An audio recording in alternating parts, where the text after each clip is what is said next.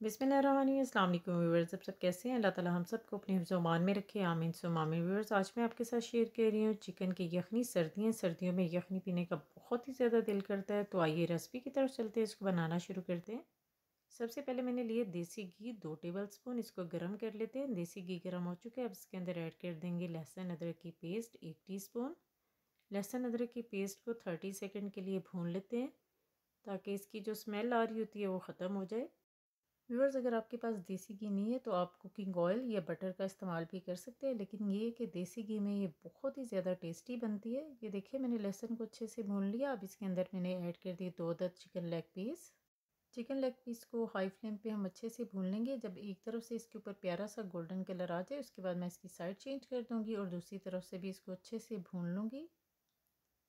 ये देखें व्यूअर्स, मैंने चिकन को बहुत अच्छे से भून लिया। आप देख सकते हैं इसका कलर चेंज हो चुका है। अब इसके अंदर खड़े मसाले ऐड करते हैं। एक अदर दारचीनी का टुकड़ा ऐड किया है। चार से पाँच अदद लौंग है, एक बड़ी इलायची है और तीन अदर मैंने इसमें ऐड कर दिए सब्ज़ इलायची।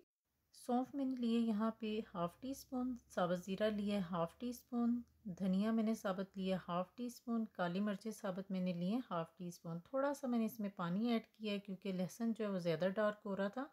अब इसके अंदर मैंने ऐड कर दिया हल्दी, हाफ़ टी स्पून काली मिर्चों का पाउडर मैंने इसमें ऐड किया हाफ़ टी स्पून नमक मैंने इसमें ऐड किया एक टी स्पून इसको अच्छे से भून लेते हैं।